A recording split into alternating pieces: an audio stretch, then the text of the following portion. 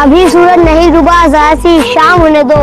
मैं खुद ही लौट जाऊँगा, मुझे नाकाम होने दो। और मुझे बदनाम करने के बहाने ढूंढते हो क्यों? मैं खुद ही हो जाऊँगा, बदनाम, पहले मेरा नाम तो होने दो।